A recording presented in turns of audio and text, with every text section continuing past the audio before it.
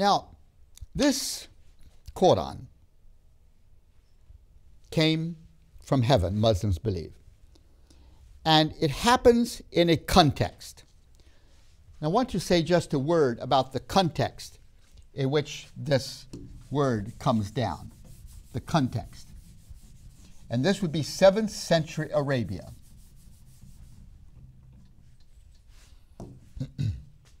the first area of context is Christian.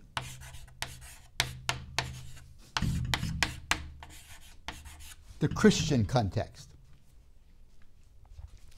At the time of Muhammad, the Christian church had spread all around the Arabian regions. Syria in the north, mostly Christian. Even present day Iran uh, was, uh, in those days called Persia, strong Christian minorities. Iraq, mostly a Christian nation. The Middle East, where Israel, Palestine is today, mostly Christian. Egypt, mostly Christian. Not only, and Ethiopia, not only were these Christian nations or Christian, uh, Christian societies, um, but, um, but also they were translating the Bible into their languages. Most of these uh, Christian communities around Arabia had the Bible in their language. So it was a very vigorous Christianity. They were sending missionaries all the way to China and deep down into Africa, a very vigorous Christian community. Uh, within Arabia, however, there were very few Christians, for they did not have the Bible in the Arabian language. There were some nomadic tribes that were Christians, few, and here and there some Christians. But within Arabia itself, where Muhammad was born and grew up, there wasn't very much Christian presence. An awareness, an awareness of Christianity, ideas about it. Um, and you find as you read the Quran that that awareness of Christianity is very much a part of Muhammad's experience. In fact, he was a merchant, and he would go to Syria occasionally in his uh, merchant enterprises, and surely met Christians in Syria.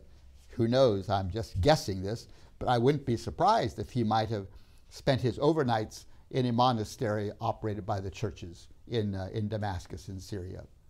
Um, so the Christian influence is present as you read the Quran you see an interaction, like, for example, the statement we made just a bit ago that Jesus is the Messiah. That's Christian influence that led that, that, that you see reflected within, within the Quran.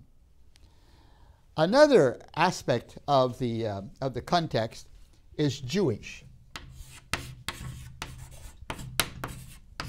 There is the Jewish context, and particularly when Muhammad migrated from Mecca to Medina, and he arrives in Medina, he met large Jewish communities there.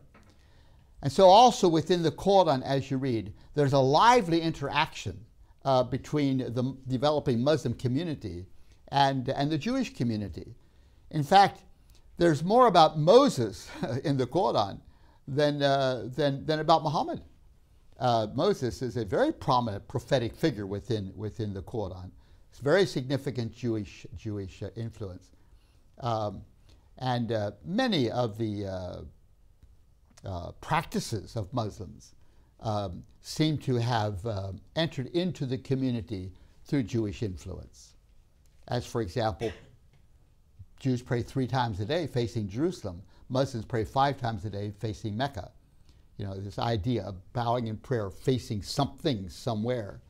Jews towards the, towards the uh, what had been the temple, and Muslims toward the uh, toward the Kaaba that practice of bowing towards towards something.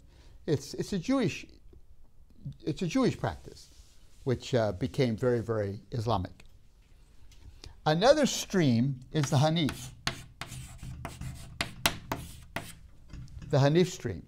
The Hanif were people within Saudi Arabia, within Arabia, who worshiped the God of Abraham, whom they referred to as Allah. Muhammad's family, his, his, his, his uh, tribal group, were mostly Hanif. And so he himself was considered to be a Hanif. And that's what he preached worship only the God of Abraham, leave all other gods. This was a Hanif concern. These people within Arabia who uh, worshiped the God of Abraham and encouraged people to do so likewise. So that's another very strong stream that weaves through the development of the Muslim community back there in the 7th century Arabia. The 7th century, seven, uh, 600 years after Christ.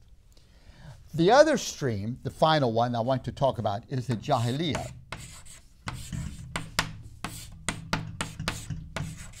The Jahiliyyah are the polytheists.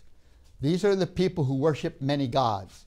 And like I mentioned yesterday, uh, within Mecca, in the Kaaba, there was 360 gods that were worshipped. So Mecca was a vigorously polytheistic uh, city.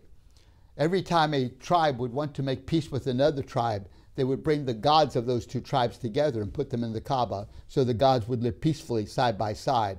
They figured if the gods are living peacefully, then we should also be peaceful with one another. And they had regular pilgrimages toward the Kaaba, all of that sort of thing was polytheistic. Even the black stone was at the center of polytheistic worship, which then was reinterpreted as a sign of the Quran that God sent from heaven when uh, the Muslims took over the Kaaba. So you have the polytheistic stream as well. And the Quran is very exercised about polytheism. The Quran is extremely um, forthright in its condemnation of polytheism. There's only one God, Almighty. All these gods are false, was the message that Muhammad preached with great fervor. And so you find this lively confrontation within the Quran against the polytheists and the assurance that if you practice polytheism, that's a sure ticket to final judgment uh, at the end of the age.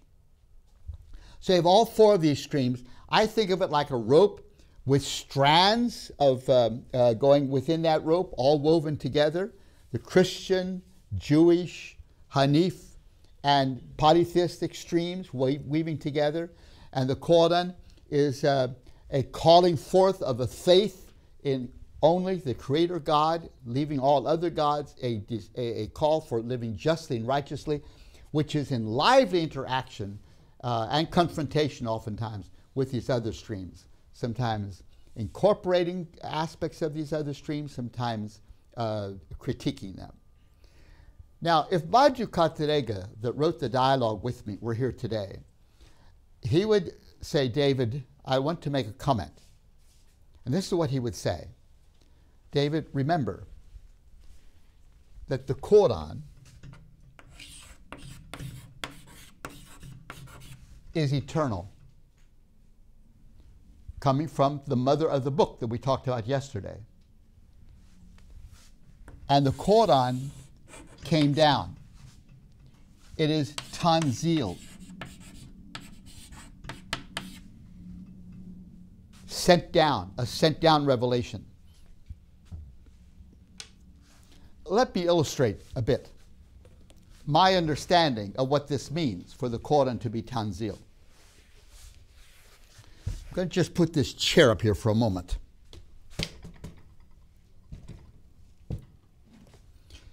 Now, it'd be good if a Muslim were here to respond to what I'm saying, but this is what I would understand Kateregga to mean. And I've asked Muslims this occasionally, and they always say, yes, you understand it well. That within the Muslim understanding, God Himself does not come down, but He sends a book down. Now, that book transcends history.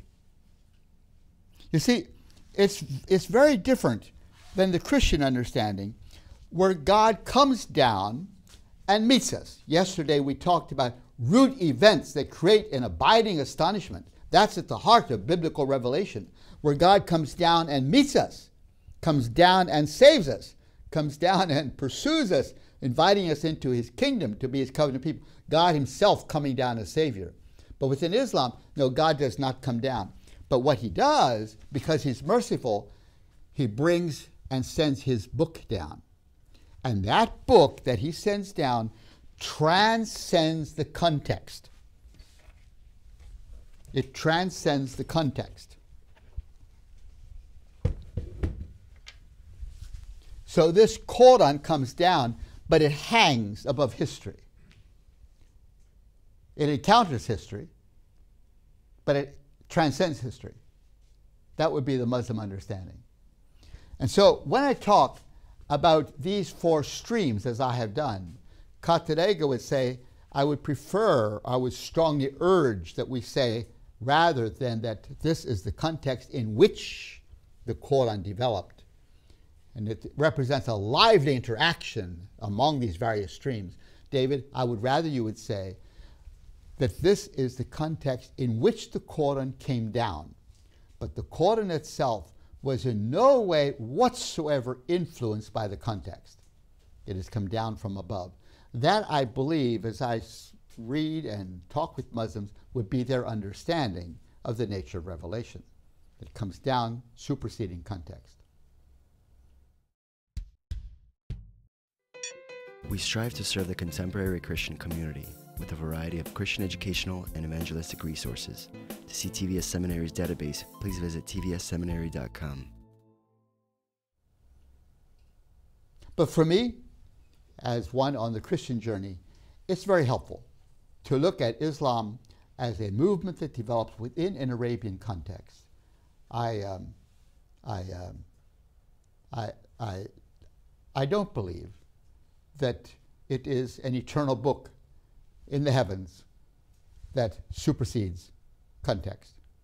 I, I, I, I, don't, I don't see it that way. I believe it. It's, it's a, I, I, you know, that every word in the Quran is somehow a copy of a heavenly original. If I believed that, I would be a Muslim. and I, I, don't, I don't, I've, I've not been persuaded about that.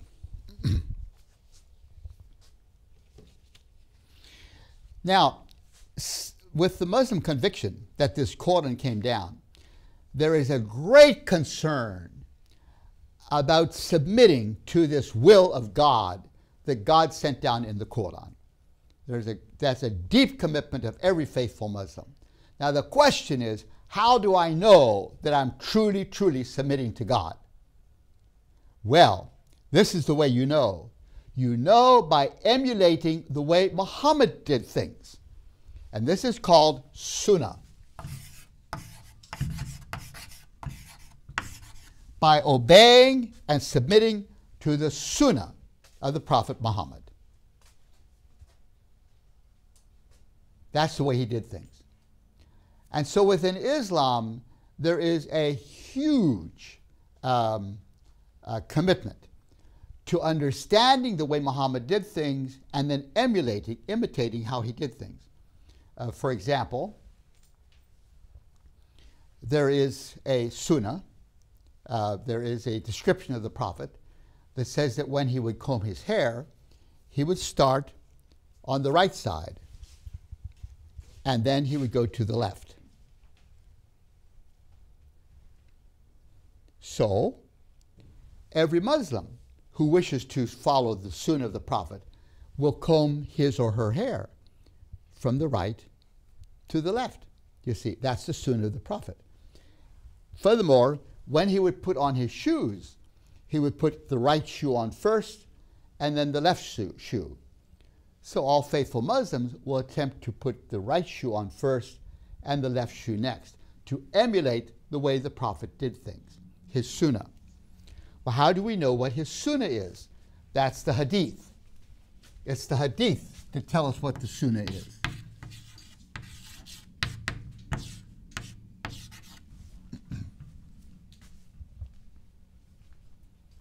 The traditions. How did the traditions happen?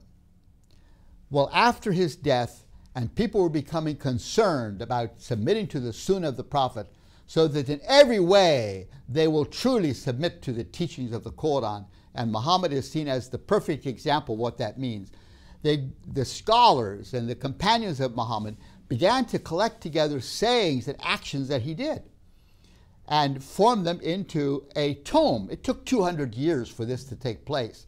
Uh, people would try to memorize and learn and investigate and, uh, and uh, travel and so forth, all doing investigations on stories about how Muhammad did things. And then these were formed together into a massive system of writings called the Hadith. So uh, it took, as I say, 200 years for these uh, Hadith to be formed. The most famous, I think, the most famous Hadith there's several of these hadith systems, but the most famous one is by Bukhari.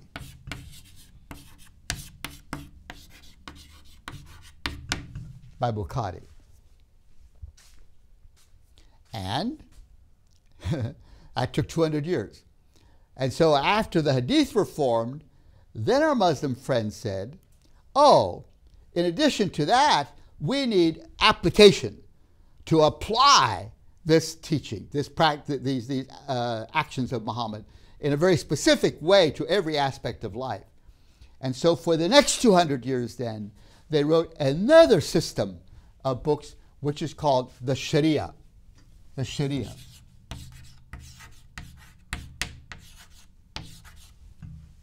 The systems of law. And so for our Muslim friends, you have three sources that guide and direct the way they shall conduct themselves.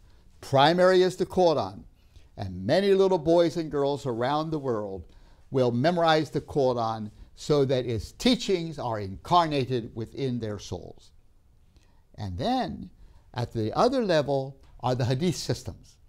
These, these, these volumes of writings that describe how Muhammad did things, telling stories about what he said and what he did, so that they can submit to the Sunnah of the Prophet, uh, emulate the way he did.